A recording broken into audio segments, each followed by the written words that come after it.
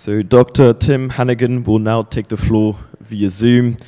Dr. Hannigan is renowned for his academic publications that complement his rich travel experiences to the four corners of the globe.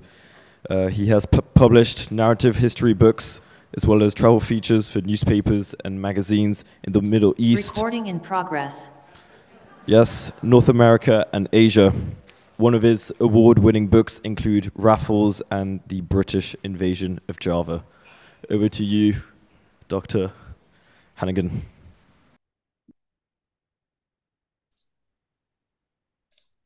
Hello, everyone. Um, thank you very much for for having me here. It's uh, it's it's lovely to be back, not in person, unfortunately. Uh, remotely, I'm in the UK at the moment. I'm in Cornwall, which is where I'm originally from. But I I uh, at seven thirty in the morning, I'm trying to feel like I'm I'm there with you. I've I've not been in Singapore since uh, year before COVID, so uh, feels like a very long time.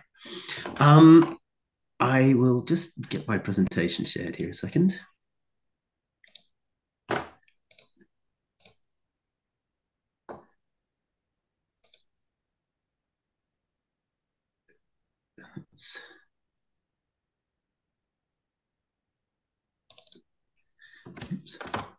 I have uh, I've slightly changed the title. You'll notice, but I'm still very much in the same area as uh, as the the précis in in the program.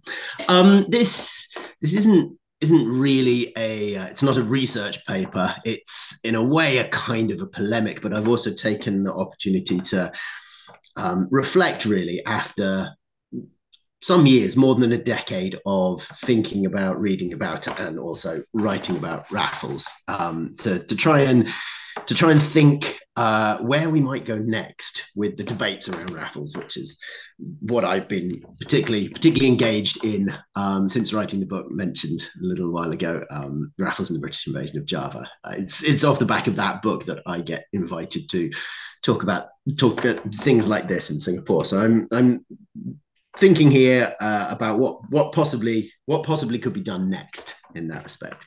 Um, so that's uh, that's that's what I'm going to talk to you about.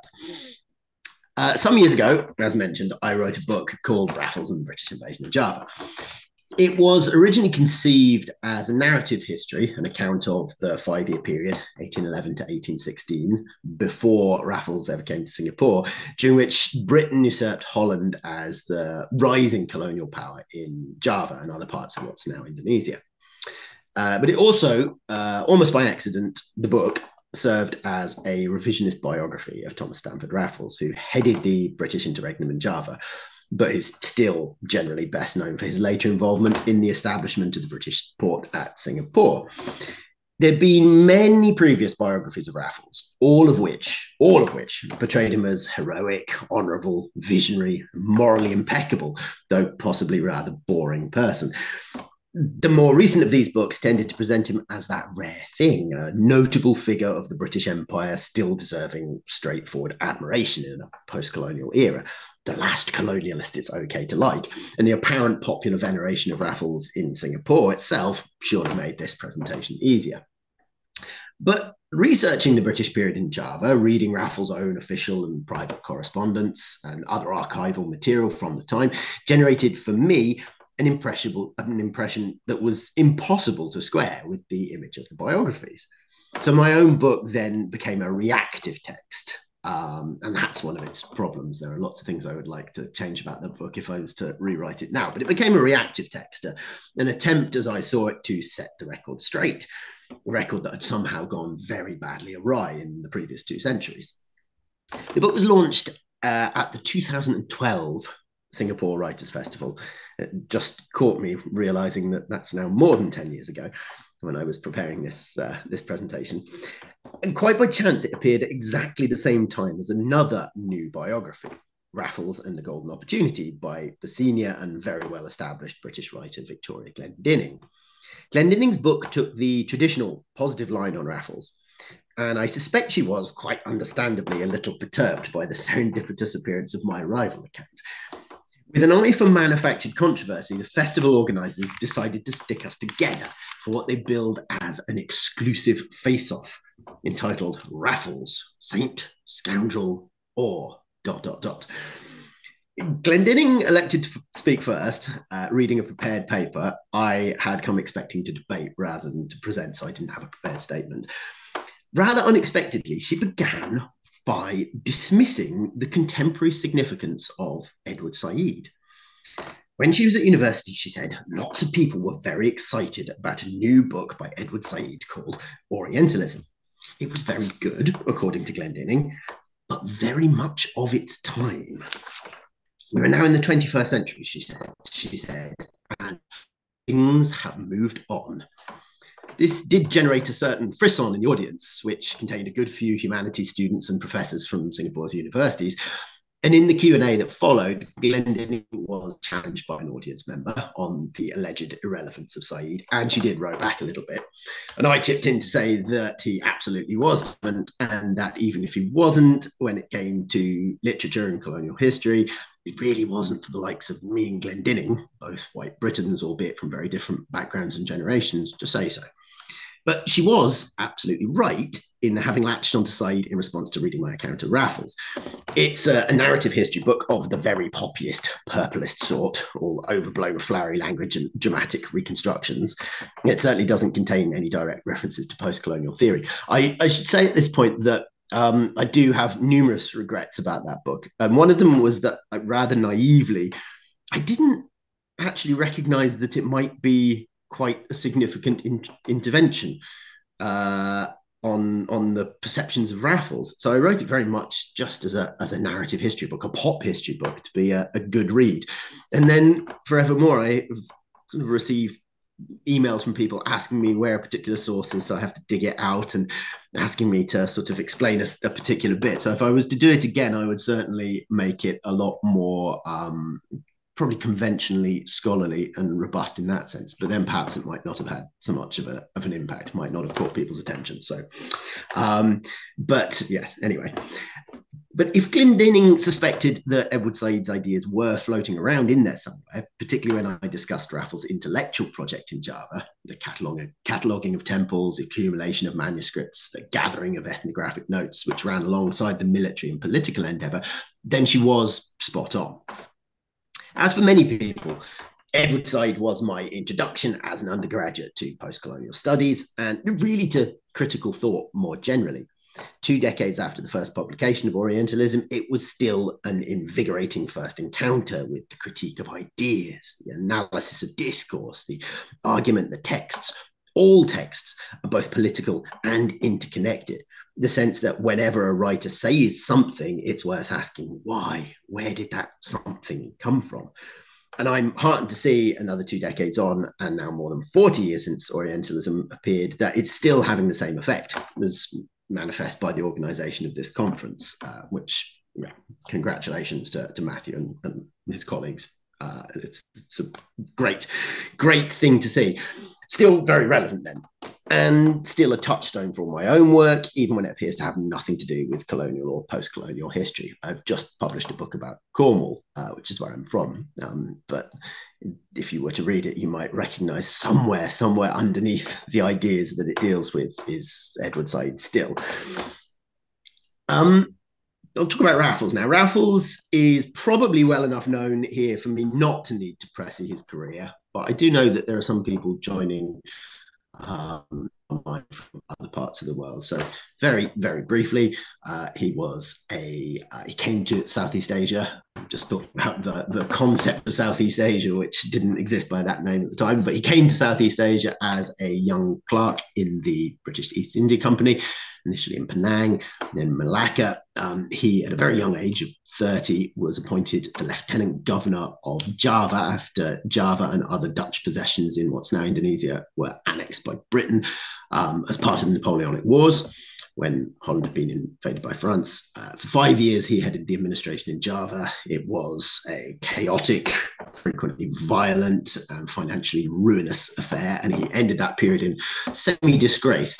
Returned to Britain. Um, somewhat rehabilitated, certainly as a scholar, and received a knighthood, and then returned to Southeast Asia to the much, much lesser post of governor of uh, Bengkulu, in uh, in Sumatra, which was a small British outpost. But from that base, he then um, became involved in uh, engineered the establishment of the first British port at Singapore, which is what he's he's widely remembered for today. So so that's Raffles.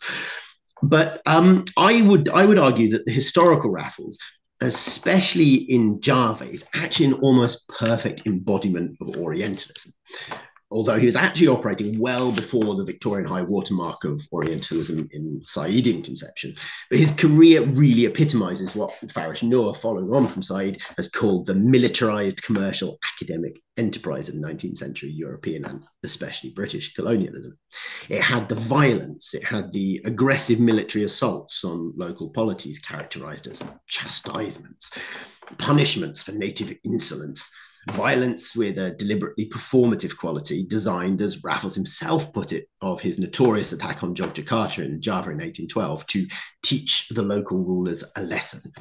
Uh, to show them who was boss. It also had the extractive commercial impetus. Raffles' reforms, uh, which are often highlighted as his good, one of his good areas, were almost always ultimately intended to generate revenue and ultimately to channel wealth from Southeast Asia towards the metropole. Perhaps most significantly of all, his so called scholarship was always part of the colonial knowledge project, less uh, strictly objective accounting of an actuality than a textual construction of knowledge of a new actuality as Noor and others have amply demonstrated. Knowledge is power, Raffles once wrote, and in intercourse between the enlightened and the ignorant nations, the former must and will be the rulers. And of course, the knowledge that he's talking about is knowledge constructed on his own, on European terms. I am not, I'm always pains to point out a historian by training, and I do not call myself a historian. I always try to correct people when they do. My academic background is in literary studies, my enduring interest in Raffles since writing the book all those years ago is less about the historical figure himself than about another textual construction, the Raffles of popular imagination, the product of a biographical discourse, a 200 year process of repeated valorization and reiteration. And this Raffles not the actual man, I would argue, is the one represented by the two statues that stand close to the Singapore River, one dating from the colonial 1880s, the other from the notionally post colonial 1970s, but both significantly identical in form, if not in material or colour. At the time of his death in 1826, Raffles' reputation, particularly within colonial circles, was not particularly strong. He'd left Java in 1816 in semi disgrace, and though he had gone on to receive acclaim for his scholarship and his involvement in creating the new British settlement at Singapore, suggestions of overreach, incompetence, and corruption still lingered. Obviously, that had all changed by the time the first statue was erected in 1887. And that was largely down to the efforts of Raffles' widow, Sophia, 1830, just four years after his death, she had produced the Memoir of the Life and Services of Thomas Stamford Raffles, 800 page volume, which, in line with biographical convention at the time, was largely made up of Raffles' own letters, and their replies, arranged to form a coherent narrative and embedded in explicatory introductions and footnotes. Sophia was working with an explicit motive of reputational rehabilitation a desire to do her husband's memory justice, as she put it herself. She was obviously very selective about what she included. Since uh, Sophia Raffles' memoir, there have been around a, a, a, dozen further Raffles biographies, beginning with Charles Demetrius Boulger's Life of Sir Stamford Raffles in 1897, when we really were at the high watermark of the British Empire and of Orientalism, followed by several others in the 1900s and 1920s, then Emily Hahn's Raffles of Singapore in 1946, Voluminous Raffles of the Eastern Isles by C.O. Wurtzburg in 1952, followed by a run of shorter biographies in the 50s and 60s. There was then a bit of a gap uh, before Nigel Barley's 1991 biography come travelogue, The Duke of Puddledock Travels in the Footsteps of Stamford Raffles, which is now republished as Just in the Footsteps of Stamford Raffles. Then Victoria Glendinning's Raffles and the Golden Opportunity in 2012. There have also been myriad shorter biographical texts from children's picture books to entries in travel guidebooks. And as mentioned earlier, virtually all of them present Raffles in exactly the same positive light, just as Sophia Raffles might have hoped, and despite contrary archival evidence. and the more critical take colonialism that, of, on colonialism that one might have expected of the later 20th and 21st century biographers. So, how, how did this happen? There's another Saidian resonance here. Said wrote in Orientalism of the textual attitude that people adopt in certain situations. And this, I'm quoting from Said, talking of this. One is when a human being confronts at close quarters something relatively unknown and threatening and previously distant. In such a case, one has recourse not only to what in one's previous experience the novelty represent, resembles, but also what one has read about it.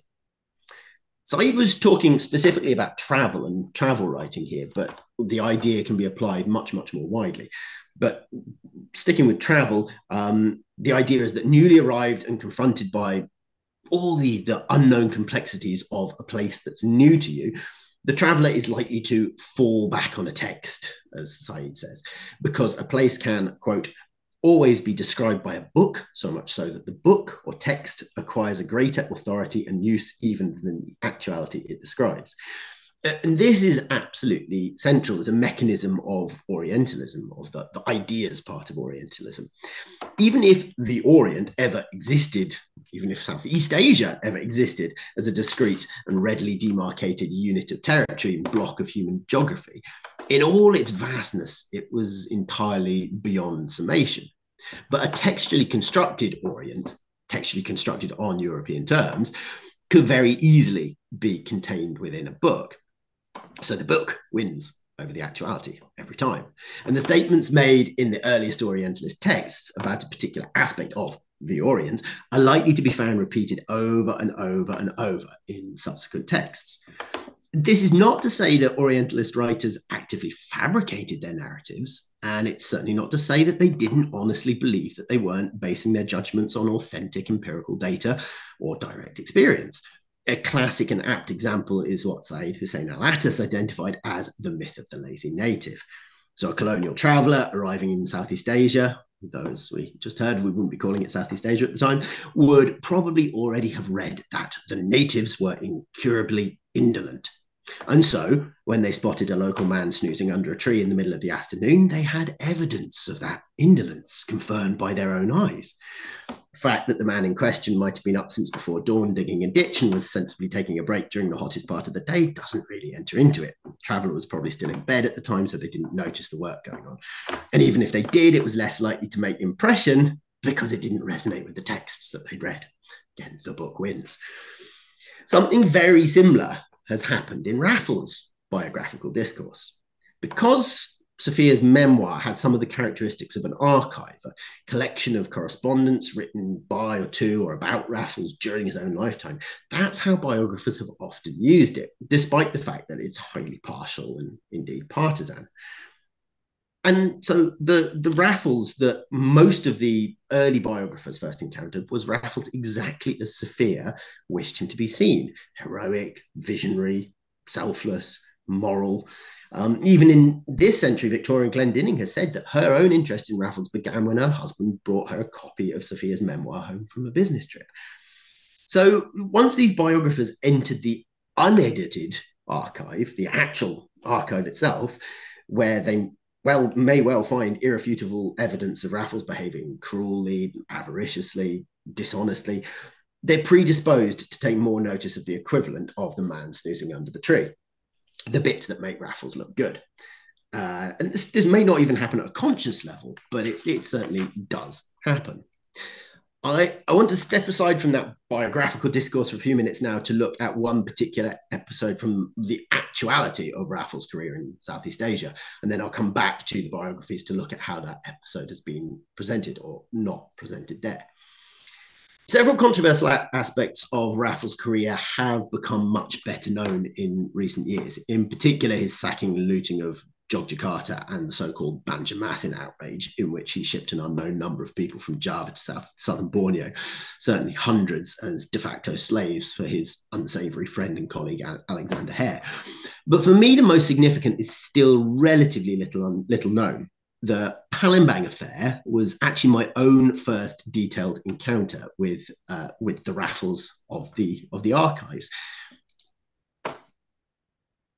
sorry, um, with the raffles of the archive. By pure chance, the first box I called up and dove into in the British Library when starting my own research contained the correspondence surrounding that episode. I'll do my best to give a brief account of what happened there now. Late 1810, before Java, before Singapore, Raffles was based in Raffles was based in Malacca as agent of the Governor General to the Malay States, laying the groundwork and conducting advanced research for a planned British invasion of Dutch territories in, in Indonesia. This was an offshoot of the Napoleonic Wars. France had first invaded and then annexed Holland, so Dutch territories overseas became uh, became enemy territory for the British. Hence their interest in invading what had been the, the nascent Dutch East Indies um, prior, prior to the Napoleonic Wars. Part of Raffles' groundwork involved initiating correspondences with sultans and rajas across the archipelago, some of them notional Dutch vassals, some of them wholly sovereign. And these included Sultan Mahmud Badruddin of Palembang, Mahmud Badruddin II. Palembang's estate in southern Sumatra, which included two large islands in the Straits, Bangka and Belitung, home to a long established tin mining economy, which Raffles knew all about. For nearly a century, the Sultanate had had a treaty with the Dutch authorities in Batavia, modern Jakarta, and the Dutch maintained a trading post at, Palem, at the Palembang capital on the Musi River, home in 1810 to about 100 Dutch citizens. The treaty meant that the Sultan, in theory, acknowledged Dutch suzerainty, but in practice, Palembang continued to function as an autonomous archipelago state. In late 1810, Raffles had a messenger carry his first letter from Malacca to the Sultan, in which he wrote, Thus, I lose no time in dispatching this letter to put your majesty on your guard against the evil machinations of the Dutch, a nation that is desirous of enriching itself with the property of your majesty, as it has done with that of every prince of the East which has had connection. I recommend your majesty drive them out from your country at once if Your Majesty had, has reasons for not doing so and is desirous of the friendship and assist, assistance of the English, I have power over many ships of war, and I think it proper to do it. I can drive the Dutch out where they 10,000 in number. He kept on uh, on the same theme in subsequent letters, telling the Sultan that the Dutch were a bad nation and a people of a sinister disposition, a want of faith, and rapacious spirit of aggrandizement, and repeatedly urging him to break his treaty arrangements and evict the occupants of the Dutch trading post. He even sent an unsolicited draft treaty to the Sultan, stating that His Majesty the Sultan hereby engages to dismiss from his territories the present Dutch resident and all persons acting under the authority of the Dutch government, and explaining that the Sultan needed to do this because Britain was probably going to invade Java. And if Palembang wanted to be truly independent, it needed to break with the Dutch before that ever happened. Otherwise, it would be automatically transferred to Britain and there'd be nothing Raffles could do about it. So it was all for Palembang's own good, apparently. Raffles even sent the Sultan a shipment of guns to assist with the eviction process. Badruddin himself didn't really have a problem with the Dutch.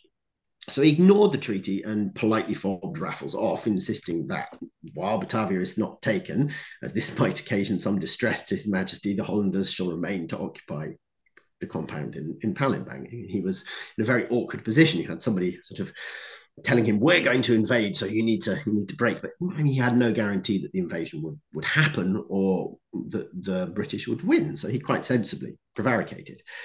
However, uh, he eventually after many months of back and forth, got news that the British really had invaded Java and that Raffles had been impo- appointed lieutenant governor there. And at this point, quite logically, Badruddin decided he'd better do what Raffles had asked if he was to have a friendly relationship with the British. And he should probably also try and make it look like he'd done it some time ago, seeing as Raffles had been asking for him to do it before Britain ever invaded Java. Exactly what happened is unclear, but the net result, predictably enough, was that all the Dutch citizens in Palembang were killed. Probably on the 14th of September 1811, which was just three days after Raffles' appointment as Lieutenant Governor in Java. And it was actually before the final Dutch surrender there, which means that Badruddin had done exactly as Raffles asked. He'd evicted the Dutch before Britain formally seized Java. Nobody noticed that final point at the time of course, when Raffles himself found out what had happened, he didn't send a thank you note to Badruddin for his compliance. He fulminated about his abhorrent deeds and dispatched a punitive force which chased Badruddin out of his court, placed his brother on the throne as a British vassal, directly annexed the tin-rich islands of Bangka and Belitung, which we can confidently say was the plan right from the start. Long before he found out about the massacre of the Dutch, Raffles' boss, Lord Minto, the Governor General in India, had been writing, quote, Palembang is to be occupied as soon as possible. With regard to Bangka and the Tin, the Lieutenant Governor Raffles knows my sentiments. And they wanted the islands ideally to be seized from a sovereign Asian state rather than from a Dutch signatory, because that would allow Britain to keep them forever, even if Britain and Holland eventually made peace. Didn't work out as planned. They did go back to Holland in the end. This is all a matter of fact. It's evident, evidenced by archival sources. But it's also, I think, very, very revealing of Raffles' modus operandi as a political figure in Southeast Asia. Palembang is really the first significant local court that he deals with closely. And those dealings are transparently Machiavellian quite staggeringly so, in fact.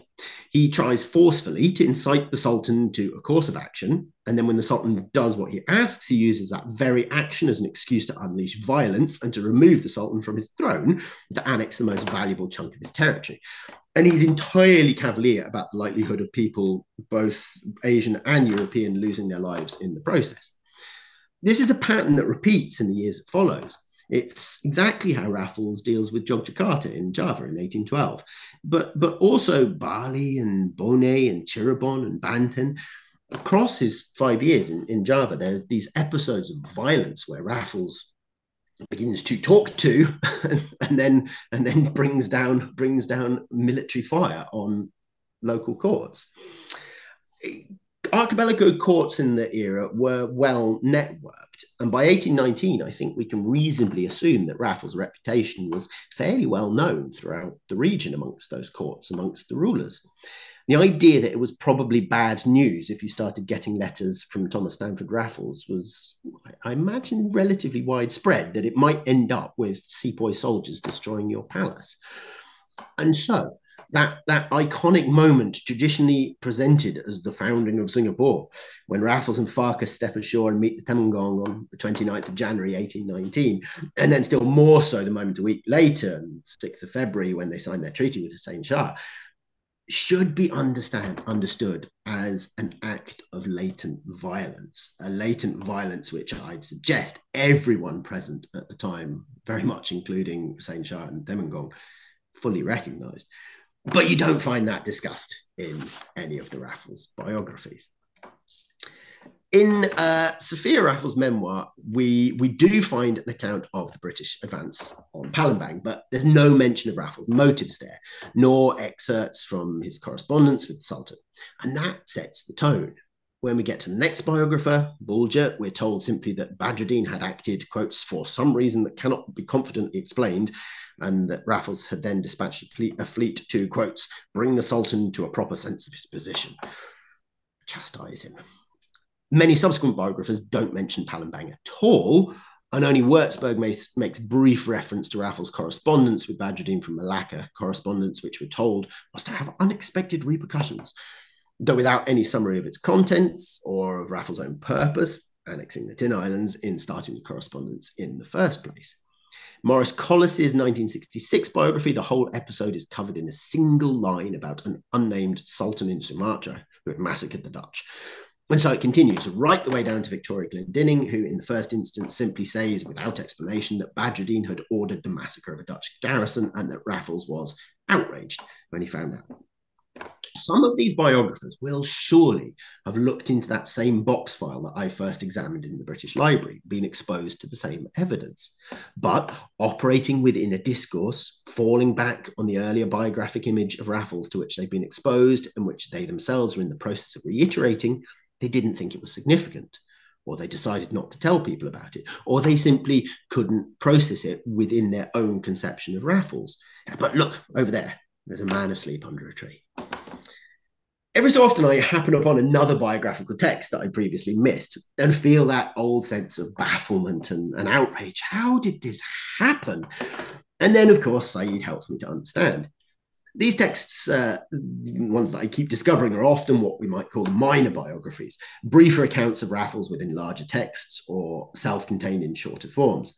Several years ago, I came across a, a 2002 graphic novel illustrated by Zhao Yimin, Stamford Raffles, founder of modern Singapore. This book was produced by a Singapore publisher It's essentially hagiographic and unwavering in its adherence to the narrative originated by Sophia Raffles in her memoir.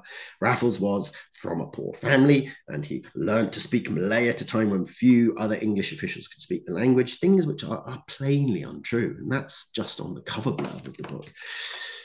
And there's no mention of violence he unleashed in places like Palembang and Yogyakarta, of course. More recently, uh, browsing in a secondhand bookshop, I found where did I put it? I had it lying around somewhere. I, I put it aside somewhere. Uh, a, a, book called The Lost Temple of Java by Phil Grabsky, produced in 1999 to accompany an episode of the BBC history series Time Watch about Borobudur, the 8th and 9th century Buddhist temple in central Java, which Raffles is often miscredited with discovering.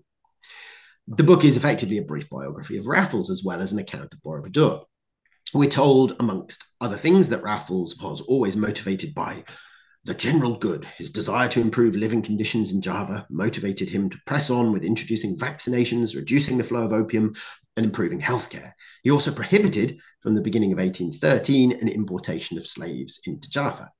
The part about opium is really not true at all, and the part about slavery is really just spin. Raffles was simply and belatedly putting into practice what was already since 1807 supposed to be a universal British in- interdiction on the trade in slaves. And under Raffles, it was a very patchy prohibition. For a start, he exempted children from the ruling, allowing those under 14 to still be imported as slaves to Java. The buying and selling of slaves between Europeans and Batavia continued unabated. Even the official British government newspaper there carried adverts for domestic slaves on its front page. And Raffles himself was served by a large retinue of slaves at his official residences. And then, of course, there's the Banjarmasin outrage.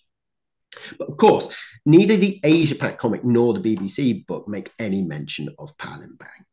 It's important to realize exactly why that is if we're to recognize how pernicious a discourse like that around Raffles can be it's very unlikely that the authors of either of these two books did much or any original archival research.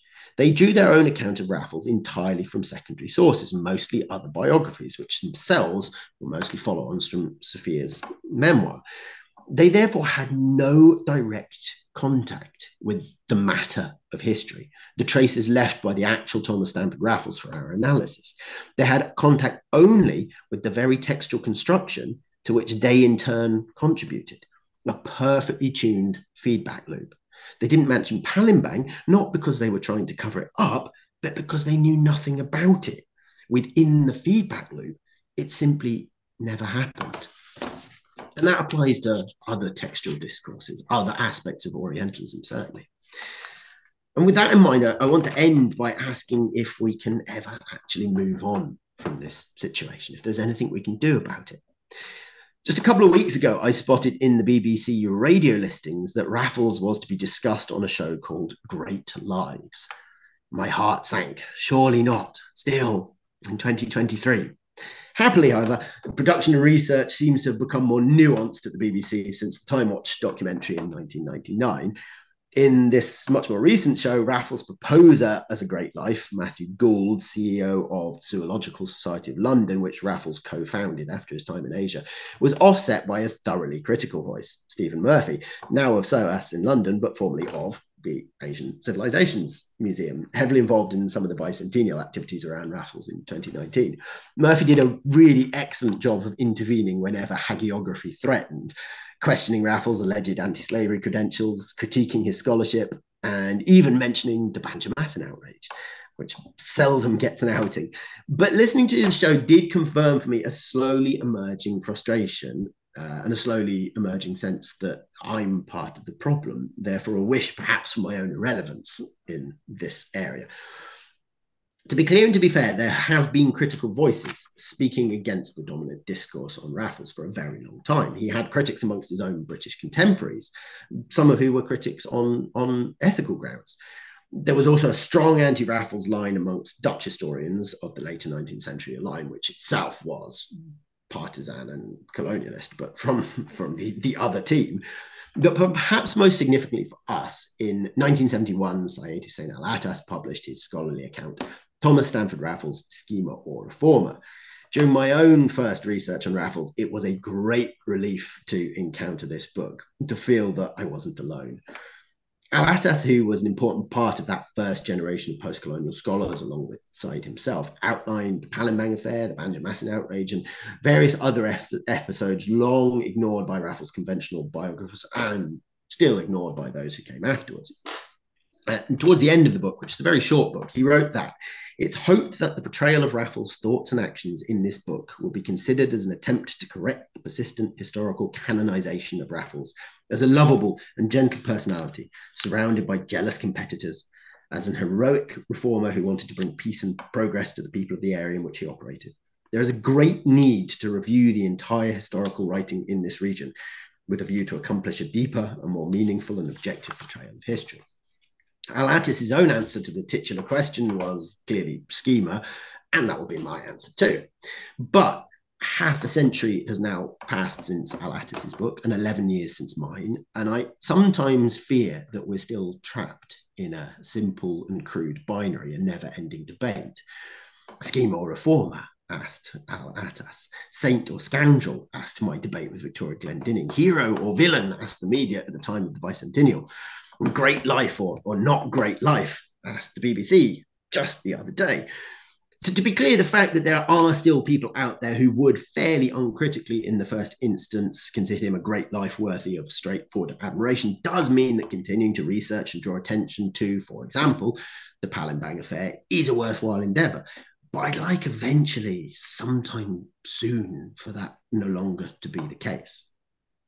The last decade or so, the parts of the ongoing conversation around Raffles I've actually found most interesting and invigorating are less the continuing scholarly work, although there's some great stuff there, than some of the creative explorations, particularly those emerging from within Singapore. Alfian Sa'at and Neo Hai Bin's 2019 play Merdeka, which is written for and staged in the bicentennial year, was both a creative performance and a direct critical engagement with the histor- historiography around Raffles. Powerful effect. It's um, it was a brilliant show. Jimmy Ong's artwork has very, very much foregrounded what we might call the nasty bits of the Raffles story, but in subtle and subtly subversive ways. And there's much more too. One of my favorites is a poem called Effigies by Yi-Sheng. Uh, Yi-Sheng has produced some serious and sustained creative responses to Raffles and lots of other great creative work, serious creative work too, and also some solidly critical commentaries too. So I can only apologize to him for citing one of his more flippant works, but I do like it. It was posted online for Singapore Poetry Writing Month in 2018. It was inspired by a bizarre children's picture book by Janet Appleyard, published in 1992, called Raffles Finds a Friend, in which the two riverside statues come to life and go on jolly japes around the nocturnal city, also providing yet another standard hagiographic biography of the man in the process. But in Yi-Sheng's version, things take a very X rated turn, and the statues end up in bed together at the Raffles Hotel, of course. The poem, which is mostly completely unquotable here, ends with bronze and polymarble in a state of postcoital bliss, while, these are the final lines, elsewhere in moonlight stand their pedestals, blissfully empty. And that line, of course, is suggestive and provocative, much more so than the hilarious X rated stuff above it. I like the poem because it's consciously intertextual. It's a direct reaction to Raffles find a friend, finds a friend, but also because it's directed specifically at the statues, which are in turn, as I've already suggested, a representation of the textually constructed image of Raffles rather than the historical man. And this, of course, begs the question of what should really be done about the statues.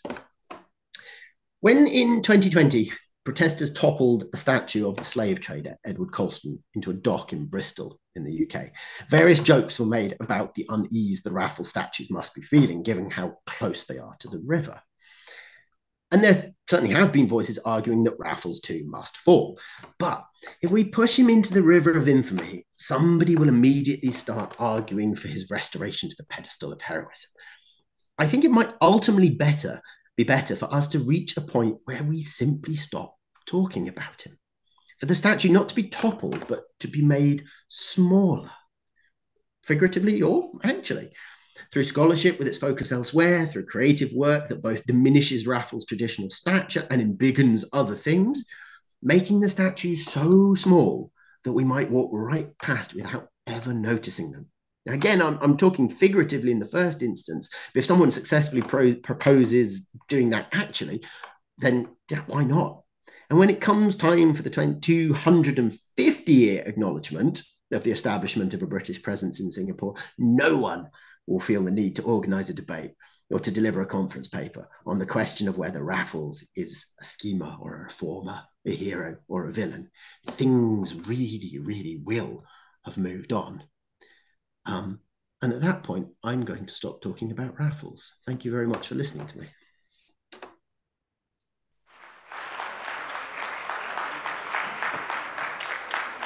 Does anyone have any questions? Thank you very much, uh, Dr. Hannigan.